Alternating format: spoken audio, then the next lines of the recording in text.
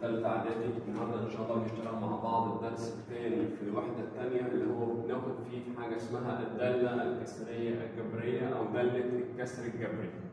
حبيب قلبي إحنا خدنا قبل كده مستر حاجة اسمها كسر في أولى إعدادي وحاجة اسمها عدد نسبي في أولى إعدادي واتفقنا على إن المقام العدد النسبي هو لا يساوي صفر. يبقى أنت دلوقتي أنت عندك إيه؟ عندك دالة كسرية يعني بسط على مقام بس أهم حاجة عندك المقام ده ما يكونش بصفر. فعشان كده أهم حاجة في الوحدة كلها تقدر تجيب مجال الكسر الجبري.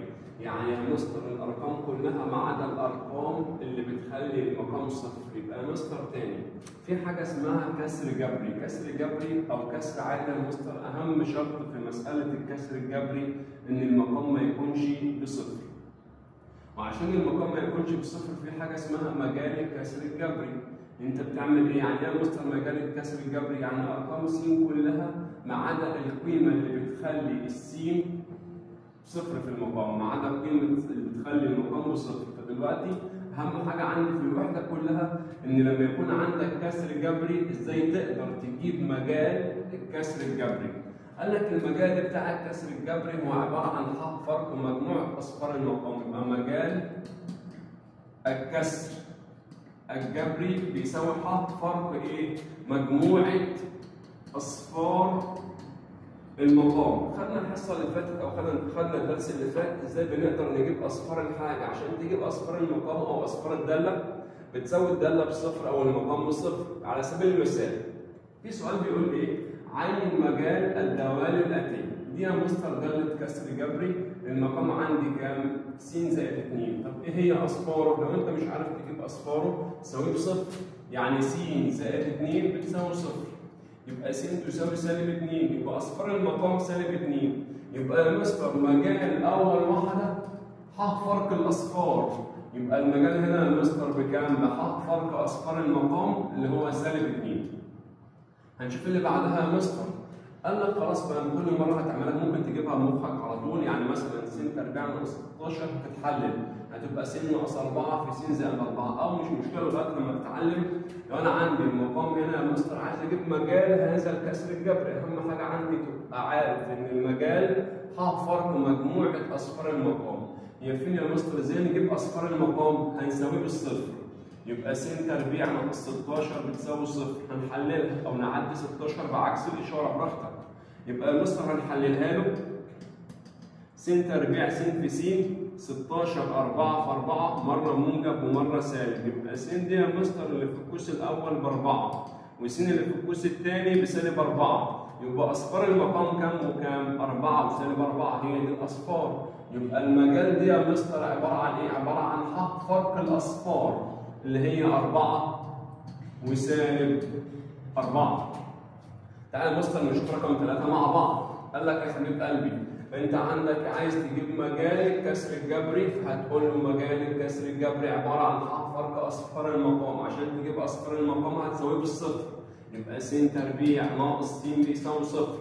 خد س عامل مشترك افتح قوس س تربيع على س بس ناقص س على س بواحد يساوي صفر. س اللي خارجية دي بصفر. س اللي في القوس دي س سالب واحد يبقى قيمة السين واحد. يبقى أصفار المقام في المسألة رقم ثلاثة طلعت صفر وواحد يبقى إذا المجال بتاعها ح فرق الأصفار صفر وواحد. طب يا مستر تعال نشوف بقى السؤال رقم أربعة. بيقول لك آه س زائد 3 على 4 ده المقام عدد ثابت. عمره ما يكون صفر. الأربعة دي بأربعة عمرها. يعني أقول لك أربعة بتساوي صفر إزاي؟ كلام مش منطقي يا مستر. يبقى إذا كان المقام عدد ثابت 4 3 5 6 7 8 أي رقم يبقى المجال هنا مستر ح في برضه مسألة تانية يجي يقول لك إيه؟ لو أنا عندي مسألة مثلا بتقول لك ن س تساوي س على س تربيع زائد واحد. عايز أجيب المجال قال لك هتساوي المقام بصفر يبقى س تربيع زائد واحد بتساوي صفر. هتعدي واحد بعكس الإشارة تبقى س تربيع تساوي سالب واحد. إحنا خدناها في ثانية اعدادي ما شفناهاش حل. مفيش كمية مربعة بتساوي سالب. يبقى المقدار ده هو مستر س تربيع زائد واحد س تربيع زائد ثلاثة س تربيع زائد أربعة س تربيع زائد رقم. ده مقدار موجب دائما يعني عمره ما يديك صفر. يبقى المجال هنا يا مستر بكام؟ بحق برضه. يبقى إذا كان المقام عدد ثابت المجال يبقى ح إذا كان المقام عدد آه، مقدار س تربيع زائد 3 س تربيع زائد 1 س تربيع زائد 4 ما هوش فرق مربعين أو هو عبارة عن مجموع مربعين كمية مربعة زائد كمية مربعة. المقدار ده يا مستر عمره ما يديك سالب ولا صفر هو مقدار موجب دائما يبقى المجال هنا ح يبقى دلوقتي خدنا أول فكرة في الدرس إزاي بنقدر نعين مجال الكسر الجبري اللي هو ح فرق مجموعة أصفار المقام. افرض يا مستر عندي كذا كسر جبري. افرض يا مستر عندي كذا كسر جبري. على سبيل المثال هناخد دلوقتي إزاي نعين المجال المشترك لكسرين جبريين أو أكثر قال لك إيه يا حبيبي؟ خلي بالك معايا كده.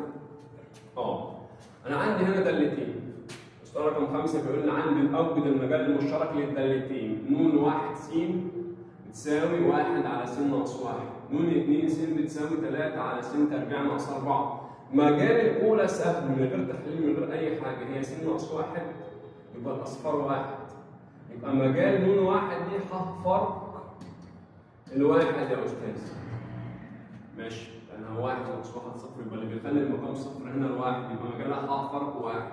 طب دي س تربيع ناقص 4 عشان تجيب اصفارها معلش إحنا لسه بنتعلم هناخد المقام بصفر يبقى س تربيع. ناقص 4 بتساوي صفر. نفتح قوسين تحليل بيساوي صفر. س تربيع س في س 4 2 في 2 مرة بالزائد ومرة بالناقص. يبقى س دي بكام؟ بالعكس تبقى 2 وس دي موجب 2 تبقى سالب 2 يبقى أصفار الكسر الثاني 2 وسالب 2 يبقى مجال الكسر الثاني ح فرق 2 وسالب 2 اذا يا مستر المجال المشترك للدالتين عبارة عن إيه يا مستر؟ قال لك آه ح فرق مجموعة أصفار المقامين يبقى ح فرق مجموعة أصفار هنا كام يا مستر؟ هنا واحد الكسر الثاني أصفاره كام وكام؟ 2 وسالب 2 يبقى ده يا مستر المجال المشترك لدالتين جبريتين أو أكثر افرض عندي ثلاث دوال أربع دوال هتجيب مجال كل واحدة فيهم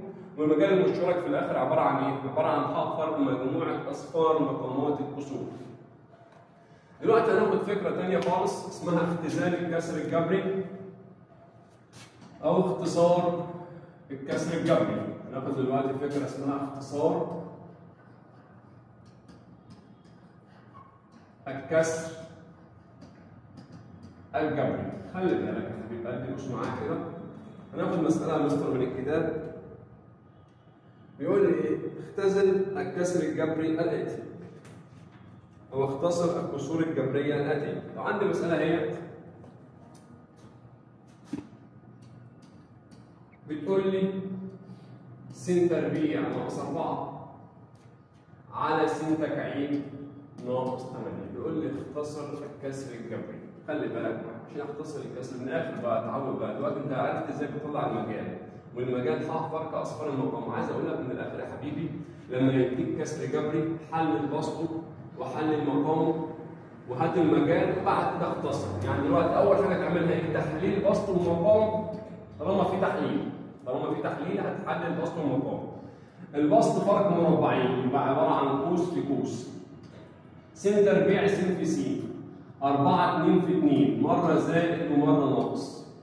تحت مستر عبارة عن إيه؟ حاجات ثانية عندنا في فرق مكعبين يبقى قوس صغير في قوس كبير.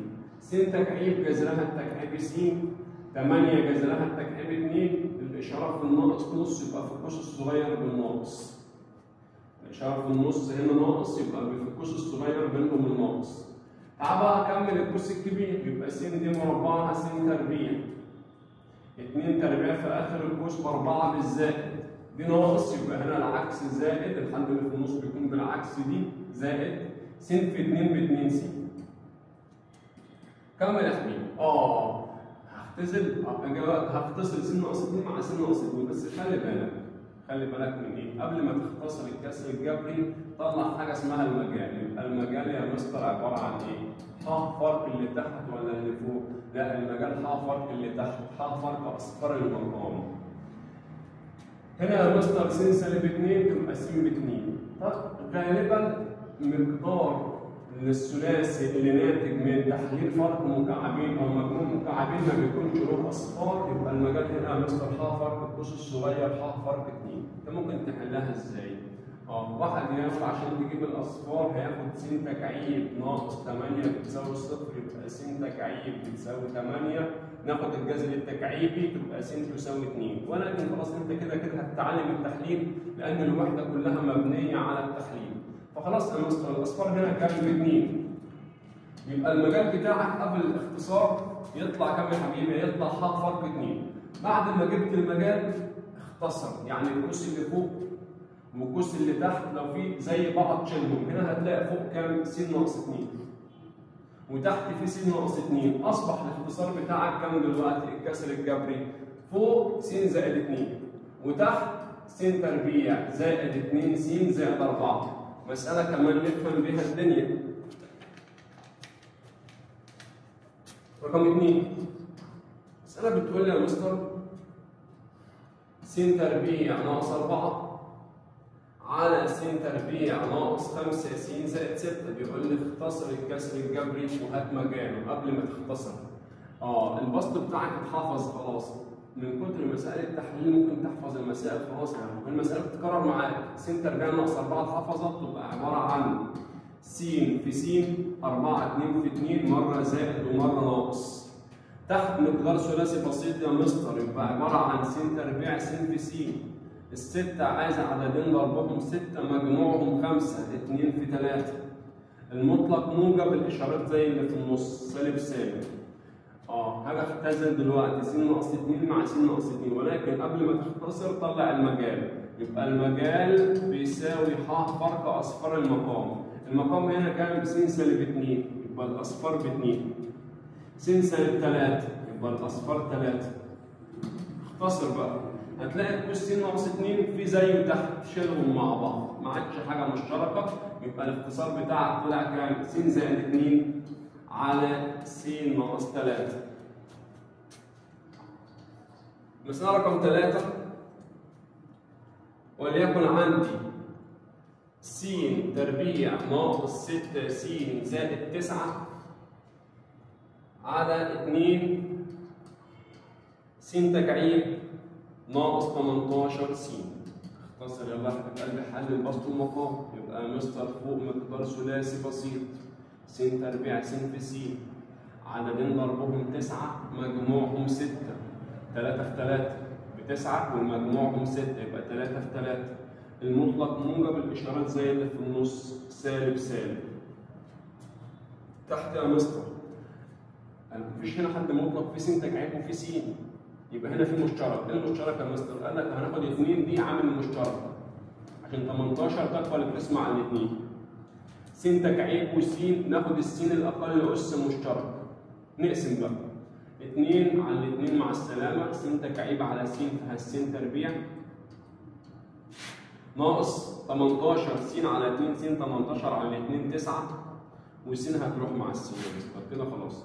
آه مش في حاجة في اختصار لسه في تكملة تحليل. آه المقدار ده مقدار فرق مربعين لسه بيكمل تحليل فقال لك خلاص البسط سيبه مؤقتا س ناقص س ناقص 3 في س زائد 3 على 2 س ده مستر فرق مربعين هيبقى س زائد 3